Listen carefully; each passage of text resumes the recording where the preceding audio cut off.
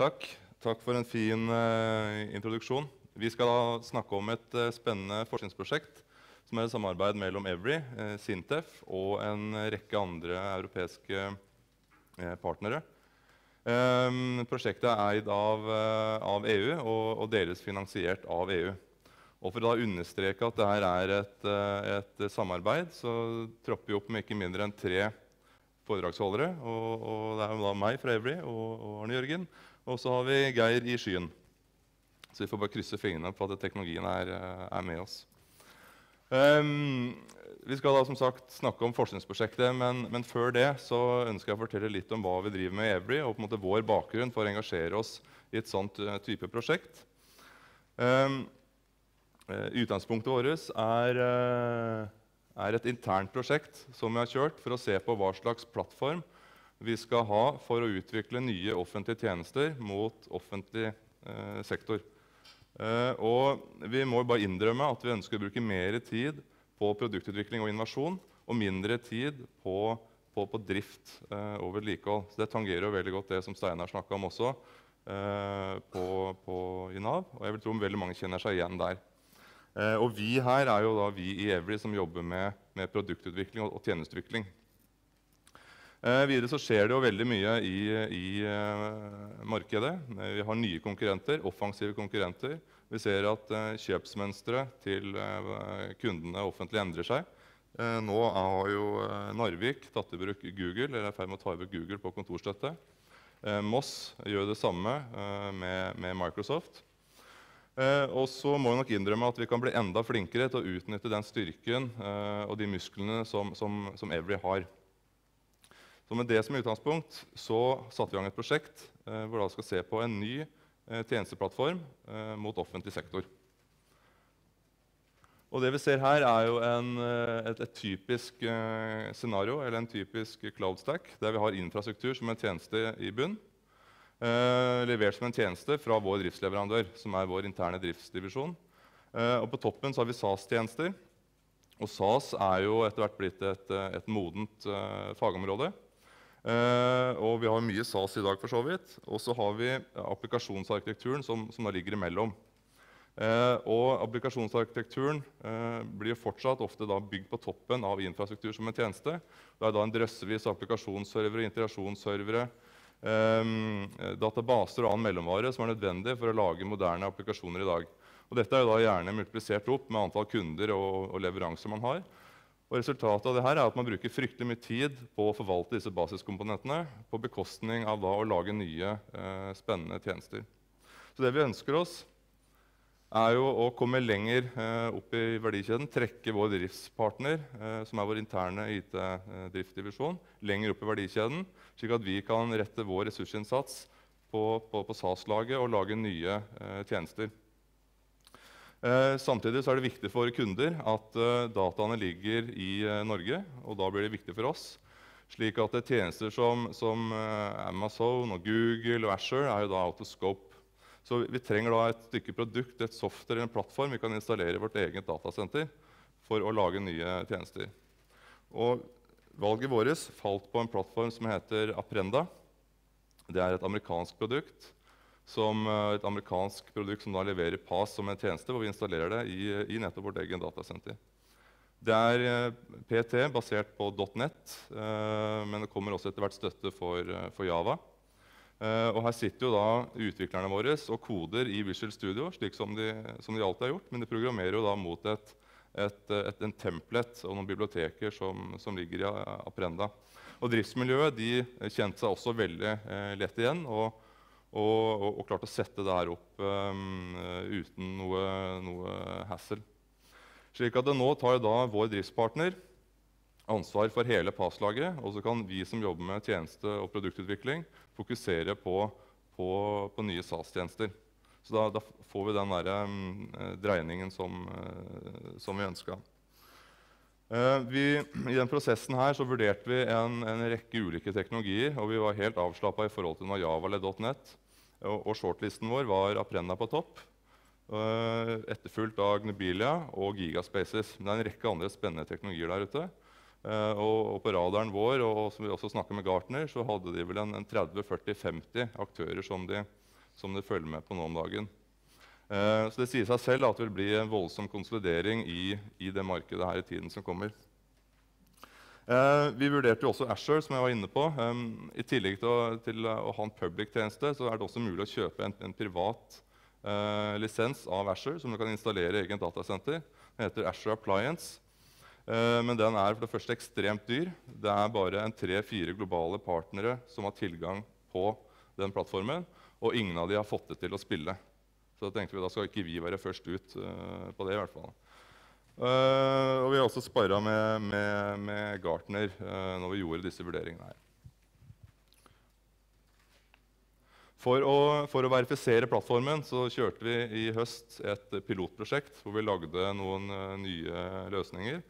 Og i den pilotperioden så um, så uh, lagde vi også uh, det som er utkastet til Architecture Guidelines og, og etablerte en utviklingsorganisasjon.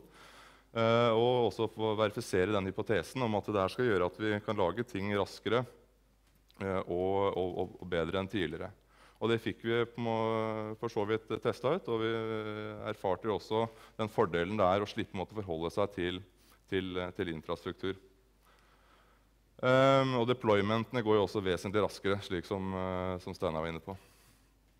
Så det vi da ønsker å oppnå her, er jo en plattform for å lage nye, spennende tjenester for offentlig sektor, uh, hvor vi skal verdiøke eksisterende fagsystemer eller eksisterende registre. Og de registrene kan enten være i våre datasenter eller kan være hos registereier sin datasenter, eller, eller hvor noe enn det måtte være. Uh, og Som et eksempel på en sånn type tjeneste så har vi det, det skjemaet her. Dette ble sendt ut til en kollega av meg som skal ha veslejenta inn i skolen. Uh, og her har jo da noen uh, tatt ut dette skjemaet, printa det ut, putta det i en konvolutt, sleika på frimerket uh, og, og, gått da ned til den internpostkassa. Så er dette sendt til, til Espen. det første Espen må gjøre, er å skrive på sin egen adresse på dette skjemaet. Han må skrive navnet på dattera si, fylle ut pers personnummeret, krysse av for kjønn, tilfelle han skriver personnummeret feil osv. Eh, og så må man gå ned til skolen med dette. her. Og dette skal da punches inn eh, i, i skolens systemer. Eh, og der blir det garantert puncha feil, slik at Mathilde blir jo med Mathilde uten H til langt opp i, opp, i, opp i, grunnskolen. Det er helt sikkert. Istedenfor å ha det sånn, så ser vi for oss og all, den informasjonen er selvfølgelig i våre registre eh, fra før. Så ser vi for oss en, en tjeneste der man får en, en melding og man bare bekrefter uh, den informasjonen og fyller ut det som eventuelt ikke ligger i registrene. Og så signerer den. Så en helt annen, uh, annen innbyggerdialog, og, og, innbyggerne i kommunen vil jo oppleve det her som mye mer proaktivt og mye bedre tjeneste enn en, en slik det er i dag. Og det finnes jo hundrevis av, av, sånne eksempler i offentlig sektor som, som vi ønsker å jobbe med. Alright, så Da har vi etablert en, eh, en ny eh, applikasjonsarkitektur. Vi har eh, laget piloter for å verifisere det oppsettet. Vi har en pipeline med, med, spennende tjenester inn mot offentlig sektor.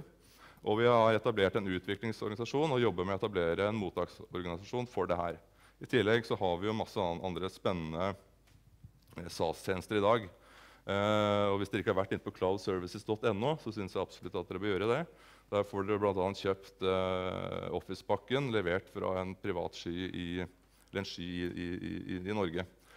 Så jeg også tenker at uh, dette er et veldig sterkt budskap som også fortjener en, en applaus. Um, uh, men jeg er også litt bekymra, for nå kommer vi inn til, til, til forskningsprosjektet her. Um, det som skjer med alle IT-systemer over tid, er at de øker og blir mer komplekse. Og kompleksitet det, det tar livet av, av, både kvaliteten, kosten går i været, og du, du mister på en måte, innovasjonsevnen. Og, og, gjennom historien jeg tar, skal ikke ta hele historien her, eh, men gjennom historien så har det blitt gjort en del grep og tiltak for å håndtere det. Og på 90-tallet hadde vi jo da på en måte bølgen med, med flerdagsarkitektur og integrasjonsplattformer, løse koblinger, standard grensesnitt. Eh, men hvis man gjorde det eh, på en uheldig måte, så akselererte det egentlig bare veien til økt kompleksitet og, og, og spagetti. Så kom 2000-tallet med, med SOA-bølgen, hvor man brøt applikasjonene ned i tjenester eh, og tilgjengeliggjorde det i bussen på standard grensesnitt. Men gjør man det på en uheldig måte, så har man egentlig bare flytta kompleksiteten inn i bussen, og man er like langt. Så er spørsmålet hva, hva nå? Eh, nå kommer på en måte eh, skyen og, og, og, og, cloud. Vil det på en måte løse opp i det? Og det vil jo ikke det. Eh, tvert om. Her vil vi ha bindinger til underliggende cloud-leverandører, enten det er vår egen private Aprenda eller det er at du deployer eh, på Amazon eller andre steder. Eh, interaksjonsutfordringer. Eh, etter hvert får man tjenester som er sammensatt av flere cloud-leverandører. Hva da med SLA, og hvem har ansvaret i forhold til det? Tenk deg alle disse herlige rettssakene vi får i, i, i framtiden. Migreringsutfordringer, skalerbarhet utover egen sky osv. Så, så det er masse ting å, å ta tak i her, og, som, og, problemer som kommer til å komme. Eh, og i, i dette eh, området ønsker vi å være best i klassen. Eh, Evry skal ikke lese om hvordan man skal håndtere kompleksitet i skyen i, i bøker eller eh, i whitepapers skrevet til andre. Vi skal være der den kunnskapen oppstår, og være de som bidrar til å skrive de bøkene. Uh, og Det er bakgrunnen for at vi ønska å bli med i, i forskningsprosjektet Passage. Passasje. Når det er sagt, så skal jeg kaste stafettpinnen til Aten. Hvordan gjør vi det? Takk for det, Takk for det Frode. Jeg vet ikke om dere hører meg bra? Vi hører deg veldig godt. Skal vi uh... Jeg får i hvert fall en Hvis dere kan mute da på deres side, så skal jeg klare resten og gi meg litt kontroll. Ja, der ja. Flott. Ok. Eh, utgangspunktet for Passasjeprosjektet det er eh, en studie som universitetet i California eh, ved Berkeley eh, laget i 2009. Hvor de gikk gjennom en del sentrale problemstillinger som er hindringer for at cloud kan brukes eh, som utility computing. Skal vi se, Jeg må bare få mutet dere, for jeg får ekko. Sånn. Skal, vi se. Nei, jeg får fremdeles ekko. Kan dere få skrudd av mikrofonen, så hadde det vært flott. Utmerket. Og noe av det de påpekte, var at uh, det er flere aspekter. De kom opp med sine ti punkter. Uh, to av dem er tilgjengelighet uh, og lock-in. Dette med at hver leverandør av skytjenester leverer sin egen API, og følgelig dermed sitter og styrer og binder kundene til seg. Det blir for dyrt og kostbart å flytte mellom uh, forskjellige plattformer. Uh, konfidensialitet er et problem hvor det du legger i skyen, vil du gjerne vite hvor ligger den i skyen. Om det er, ligger i Norge eller USA, eller kanskje du sender sensitiv informasjon til Kina. Det har faktisk litt å bety. Datamengder har en betydning. Det samme har ytelse de er litt koblet. Du vil gjerne legge dataene der hvor du prosesserer dem, eh, og du vil sørge for at eh, data, eh, muligheten til å lagre data skalerer ettersom du øker ytelsen på, på programmet. Lagringskapasitet er en del av dette med store datamengder.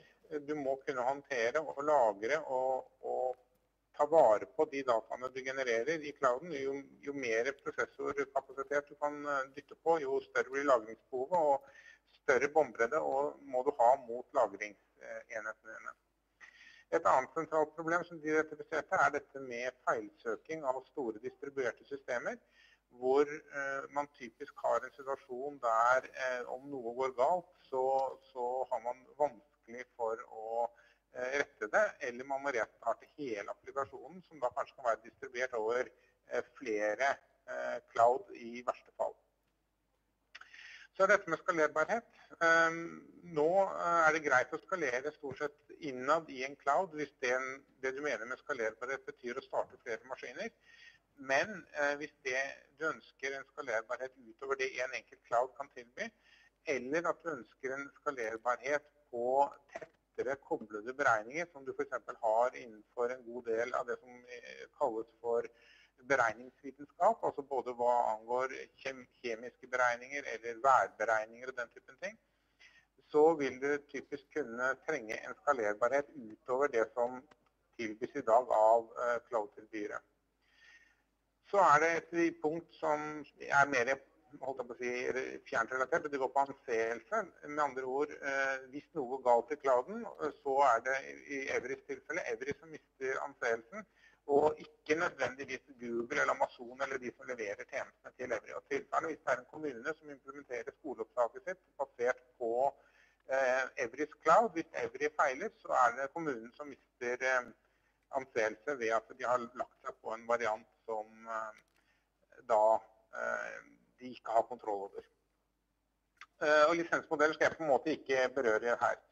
Så når vi satte opp Passage, så var målet at Passage skulle dekke en god del av disse feltene. Og det som nå er grønt, det er da de områdene som, som Passage har på en måte ansvaret for. Og eh, tanken, grunnvisjonen i Passage, er at den som utvikler et program, skal gjøre det én gang. Uavhengig av hvilken Eh, sky eller plattform som eh, man ønsker å benytte for å, for å kjøre den applikasjonen. Og Det er en ganske ambisiøs målsetting. og Tanken er hele tiden her å ha utviklerperspektivet. Det er litt, eh, litt viktig. At man på en måte ikke eh, ser dette som eh, en eh, la oss kalle det en, en avansert bruk der man ønsker å, å starte like tjenester av et, tjenester eller servere men at man her faktisk ser dette som eh, en utviklers eh, perspektiv. Og Derfor har vi lagt oss på en modell hvor vi tenker at vi skal lage en åpen plattform. og Den skal være integrert, sånn at eh, utvikleren har samme opplevelse som å utvikle et program i en vanlig integrert utviklingsomgivelse, altså Visual Studio eller K-Develop eller andre verktøy man vil bruke. Og kunne da utvikle programmer for kjøring i, skyen på en effektiv måte. Så det leder til at vi har fire hovedleveranser fra prosjektet. Det ene er et modereringsspråk for programmer som skal kjøre i skyen. Eh, det andre er at vi uh, lager en integrert utviklingsomgivelse basert på Eclipse, som da vil hjelpe utvikleren til å optimalisere de programmene som, som utvikles.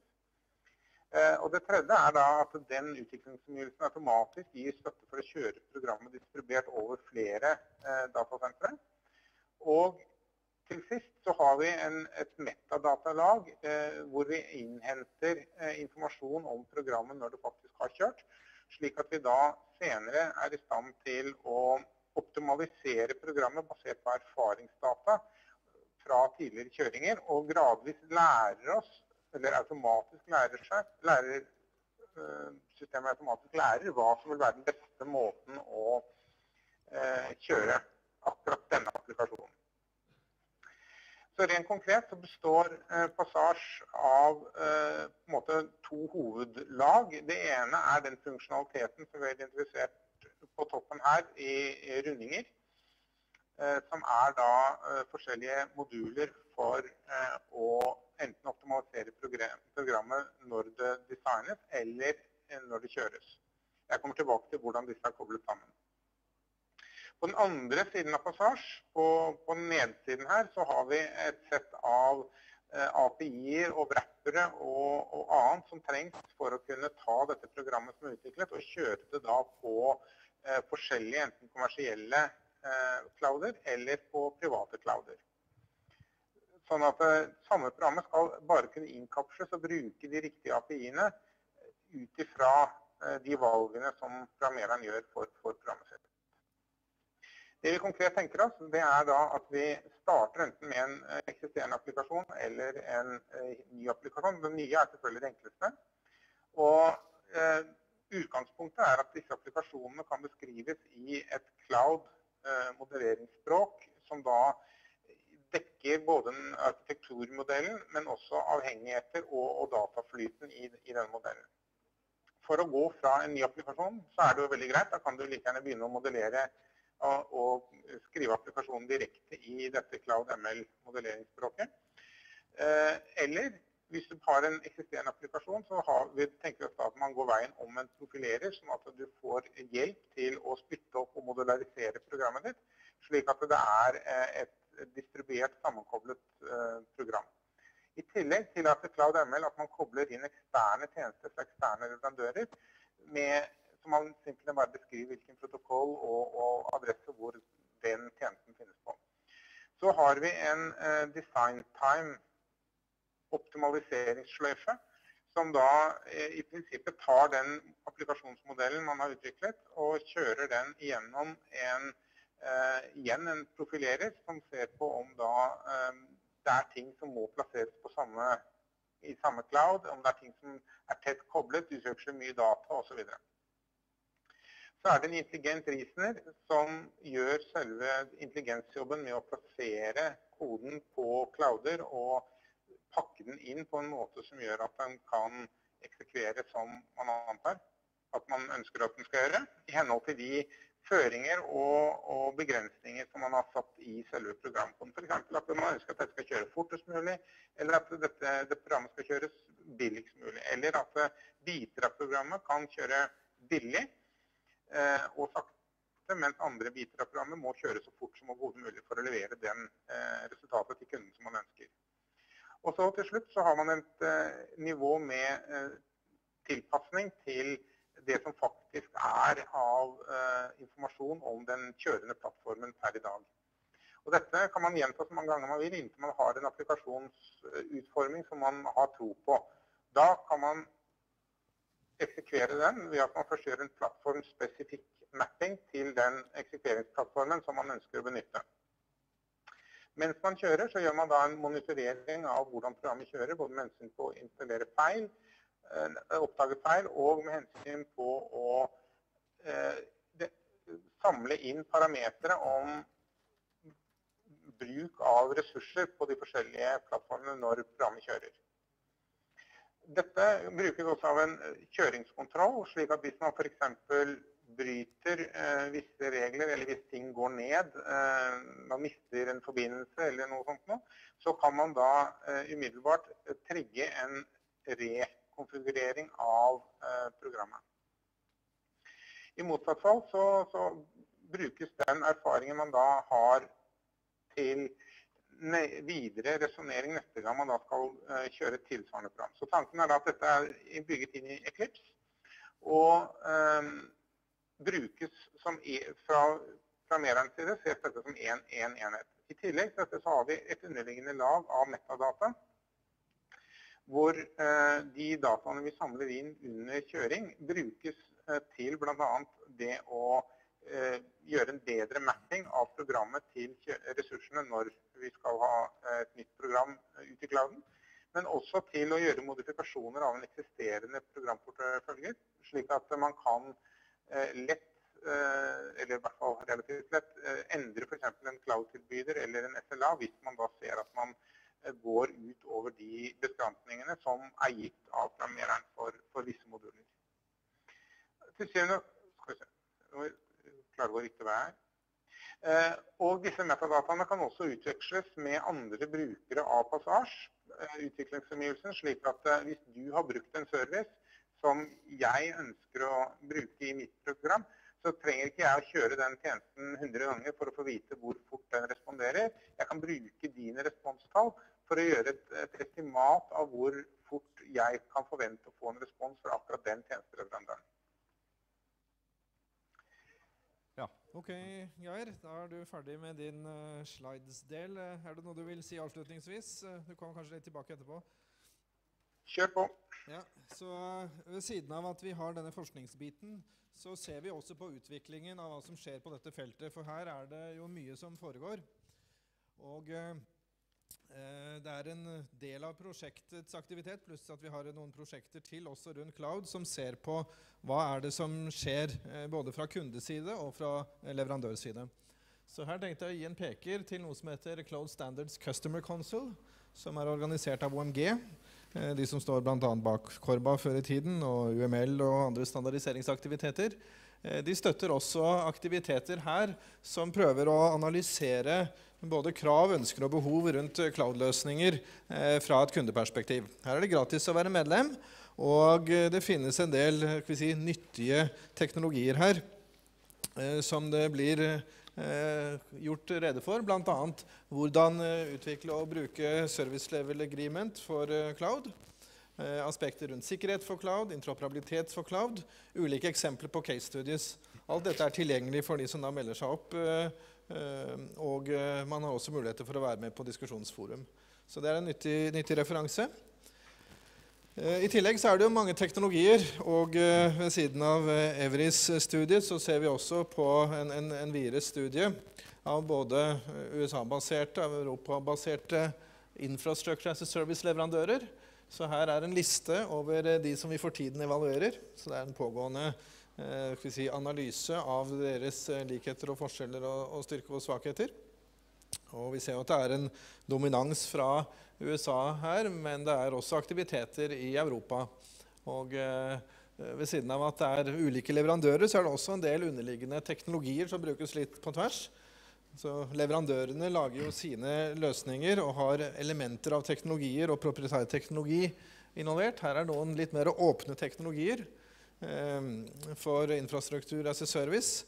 Eh, CloudStack, Equalyptus, OpenEbla, OpenStack. Eh, og noen benchmarks som har blitt brukt for å teste dette, som eh, vi jobber med. Eh, spesielt så er jo Passasjeprosjektet på Platform as a Service og vi følger kontinuerlig med hva som skjer med leverandørene på dette markedet. Vi ser Aprenda her, som Evry bruker. Men det er også andre interessante, som Cloud Foundry og Cloudify osv. Eh, pluss varianter av disse som har ulike verktøyutvidelser. Så dette er også en del av den analysen og evalueringen som vi holder på med for tiden. Så kanskje dere ser noen verktøy her som dere eh, har eh, hatt i, i kikkerten. Eh, I så fall så vil vi nå gjøre en, en vurdering og evaluering av dette i en sånn sammenligningssammenheng. Ved siden av uh, si, leverandører så er det også standardiseringsaktivitet. Og det som er interessant er at De fleste standardiseringsgrupper eh, har på en måte satt cloud på agendaen og lager uh, sin perspektiv på det. det. Det, gjør ikke kanskje verden så mye enklere, fordi uh, hvis du ikke liker en standard, så finner du en annen en. Eh, så det er eh, litt uklart farvann her, og hvem som på en måte skal gjøre hva.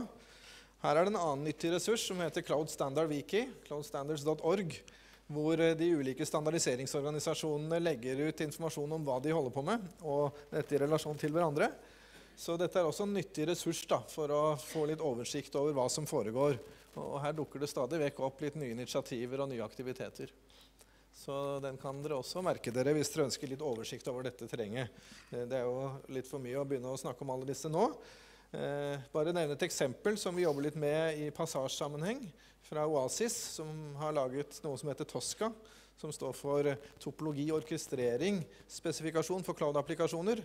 Hvordan beskrive arkitekturen til en applikasjon, og hvordan fordele den utover ulike eh, komponenter og tjenester i en cloud-sammenheng. Så dette er en av de konkrete standardene som er spesielt relevant i forhold til det vi gjør i, i Passasje. Ok, Det var et lite bidrag fra min side. Skal vi overlate til Frode igjen? Jeg, tror det er et par slider til uh, vi har spart til deg. Ja, kommer litt ja. tilbake etterpå. Det var litt om, uh, om forskningsarbeidet som, som, skal gjøres. og Oppsummert da, så er jo Passasje det handler om å lage et modelleringsspråk uh, og noen utviklingsverktøy for, for å orkestrere Eh, komplekse skytjenester.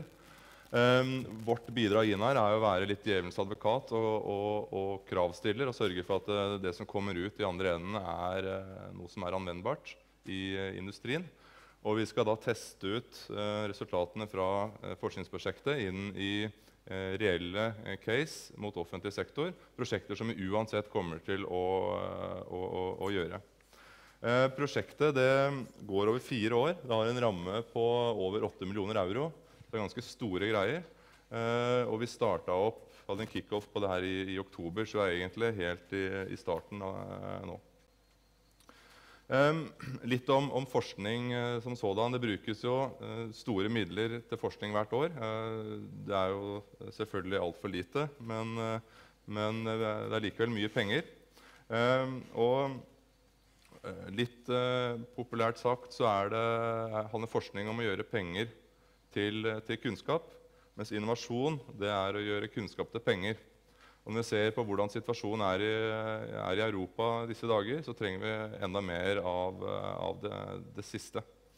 Eh, slik at det er et eh, mye større fokus nå enn det har kanskje vært tidligere på at eh, forskningsprosjektene skal bidra til, til verdiskapning og, og, og vekst. Og Derfor er det enda viktigere da, å få industrielle aktører som, som Evry og, og, andre på banen for å være med og, og, jobbe inn i prosjektene og sikre for at det her vil bli noe anvendbart og, og skape noe, noe nyttig i andre enden. Så det er en oppfordring til alle dere andre også som, som jobber i, ute i, eh, i, eh, industrien.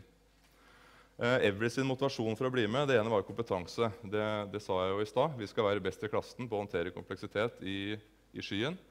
Det andre er å skape entusiasme. Personlig så syns jeg det er dødskult å bygge broer inn mot uh, akademia og forskningsmiljøer. Og, og, på en måte kunne spare litt uh, med de, både i prosjekter og, og, og over en pils i, i, de arenaene hvor det er naturlig. Men også internt hos oss så er det jo, er det jo gøy og artig for, for utviklingsmiljøene å kunne bryne seg litt på andre typer ressurser. Man får en veldig fin dynamikk når man jobber sånn på tvers. Eh, det er jo også noen såkornmidler som kommer eh, gjennom forskningen. og Det er også viktig for oss i industrien. Eh, for det gjør det enklere for oss å, selge inn denne type si, nybrottsarbeid i, i linja. Så de midlene er viktige. Så har Every, som den store aktøren vi er, et samfunnsansvar til å være med oss og bidra det her. Og det samfunnsansvaret er også forankra i strategien vår og, og, vår overordna misjon. Um, da, Arne Jørgen? Ja, eh, Bare for å si litt om eh, mulighetene fremover, så er EU i ferd med å avslutte sitt syvende rammeprogram og starte opp eh, det åttende, som, som, ikke kommer til å hete det åttende, men hete Horizon 2020. Det skal gå fra 2014 til 2020. Og som Frode sa, så blir det en enda større vekt nå på innovasjon prøve å utnytte forskningskompetanse, men eh, gjøre det på en eh, næringsliv- og industridrevet måte. Eh, og En av grunnene til at vi tar fram det her, da, det er at vi ønsker faktisk en større norsk andel fra norsk næringsliv og, og norske virksomheter. Fordi dette skal være mer virksomhetsdrevet enn det har vært tidligere. Så vi må begynne å tenke på det nå, for programmet starter i 2014. Og man er underveis nå med å etablere basisen. Eh, budsjettet er på 80 milliarder euro. altså Det er 600 milliarder norske kroner, 100 milliarder per år. Og, og Norge betaler jo en andel av dette inn til Brussel, som vi ønsker å hente tilbake. Og, det er delt inn i både basisforskning, industrielt lederskap og, og forskning mot samfunnsutfordringer. Og på samfunnsutfordringer så er det valgt nå seks stykker som er relevant uh, i forhold til uh, mange aktører vi har i Norge. Rundt uh, helse, matsikkerhet, maritim forskning, energi, eh, transportløsninger, klima, ressursforvaltning og også eh, innovasjon og sikkerhet i samfunnet. Så det går an her, og, mange av disse eh, milliardene blir lagt inn på disse områdene med bruk av teknologi for å finne løsninger. Vi ligger allerede langt framme på disse områdene i Norge, som vi har både hørt og sett i disse dagene og som vet fra før. Så her burde vi ha gode muligheter til å kunne komme inn og uh, jobbe i dette fellesskapet som, som, finnes, og med de midlene som vi faktisk tar av vår egen uh, lønnspose fra Norge og legger til Brussel. Men det er da også et ansvar for oss å hente dette tilbake. Så muligheten kommer, og vi håper at vi kan bruke kontakter vi har her, da, til å følge opp dette videre. Sånn, på samme måte som vi har gjort med Evry. Flott. Ehm, det siste vi skal si noe om da, er erfaringer. og nå, som jeg var inne på, Så, så starta prosjektet opp nå i oktober, så det er jo begrensa hvor mye erfaring vi har fått.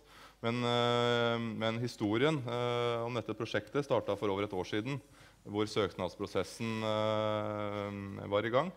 Og For oss som industriell partner så var det jo veldig en positiv og gledelig erfaring å jobbe sammen med Sintef eh, på det.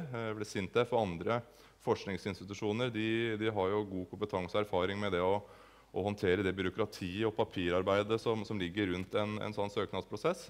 Så vi spilte bare inn våre, våre use caser og, og, og, våre data, og så pakka Sintef det her inn i, i, i, søknaden. Så det var veldig positivt. Så hadde vi en, noe jeg opplevde som en veldig bra kickoff, eh, både faglig og sosialt. Eh, men så er vi jo inn i måte, prosjekt- og leveransefasen. Og klart Her merker vi jo at det er forskjell på de som har jobba med leveranseprosjekter, og de som har jobba eh, med, med, forskning, hvor mer, man er mer opptatt av å belyse problemstillinger og hypoteser enn at det skal komme noe konkret ut i andre enden. Og eh, En av de andre industrielle partnerne her som, som er ansvarlig for en av arbeidspakkene, er Lufthansa og tyskere på leveranseprosjekter, da er det orden i sakene. Det er ganske interessant å være med i de, de møtene der vi har tyske prosjektledere og, og, og, forskere som jobber inn. Men det er på en måte en, en, en dynamikk som er veldig god, og som, som egentlig eh, gjør totalen mye bedre. En annen utfordring i det her er jo at vi har, det er snakk om lange tidsperioder. Prosjektet går over fire år. Eh, Steinar i Nav var inne på hvor mye teknologien utvikler seg på den perioden. Så mange av de problemstillingene vi nå har og skal begynne å belyse, de er kanskje løst av helt andre naturlige årsaker om, om noen år. Det andre er jo at uh, Every skal inn på banen og teste for fullt om to års tid. Uh, først skal man lage en, en, en, plattform. Så hvilken use case vi skal bruke inn her, uh, er jo litt åpent. Vi vet at det skal være noe mot offentlig sektor. Og, og det er jo klart også krevende i en linjeorganisasjon å holde på en måte commitmenten og forankringen i et, i et sånt prosjekt når når eh, det er eh, så lange tidsperioder. Og, og, og det bytter også eh, av naturlige årsaker nøkkelpersoner i, i, i linjen. Så det, det, er noe man må være, være, forberedt på å håndtere.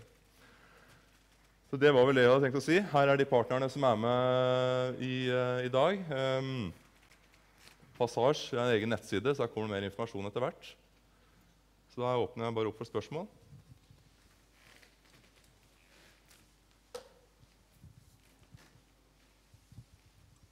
Ingen spørsmål? Jo. Ja, hei, jeg er Paras Domahagi fra Nav, og jeg kjenner dere to. Vi har vært med å samarbeide litt og skrive søknaden. Men uh, nå i Nav vi har en utfordring. at jeg hadde spørsmål om denne plattformen. Har dere testet på hva slags tjeneste den passer best for? Er det sånn skjemabasert, enkle, eller passer den også for å flytte f.eks. tjeneste til en annen applikasjon? Hva slags følelse har du for denne Aprenda-plattformen? Um, eh, det vil definitivt være, være, skjemaer der, ja. Men da knytter vi oss opp mot en, eh, mot en skjemamotor som er skybasert, og som vil på en måte bli en del av, av uh, arkitekturen. Mm. Men vi, vi, for oss er ikke modernisering av offentlig sektor snakk om å sette strøm på papir og skjemaer. Vi, skal, vi må nødvendigvis gjøre noe med prosessene og, og, og tjenestene. Ja, Spørsmålet er også om samhandling skal skje på tjenestenivå. For du vet at vi har en råre av, av alt legacy og ny, som, som dere vet om. Ja. Så skal man bruke en ny applikasjonsplattform, så må man kunne samhandle med eksisterende systemer. Har dere prøvd noe på det? Skal det skje på, på tjenestenivå, eller går det an å, ja, vi, å finne vi, noe annet? Visjonen med, med, plattformen her er å, å, å bygge komponenter inn i PAS-laget som skal være gjenbrukbart på tvers. Så det vil være egne komponenter der for, for min eh, ID. Det vil være egne komponenter og, og, spørringer inn mot folkeregister og andre register vi har. Eh, og det vil være egne komponenter som utviklerne bruker inn mot skjemamotorer og, og, og andre. Men klart, her, her, er vi helt i, helt i, startgropa på hvordan vi skal løse en del av de, del av de utfordringene. Ja, tusen takk. Jeg syns det var veldig modig av dere egentlig å bli med i det her forskningsrådet. Ja, vi, vi har ikke noe valg. At, ja. Andre spørsmål? Alle klare for lunsj, tydeligvis. Da sier vi takk eh, til eh, dere, også med oppmerksomhet. Han som er i Aten, får ingenting. Vær så god. Takk for innsatsen.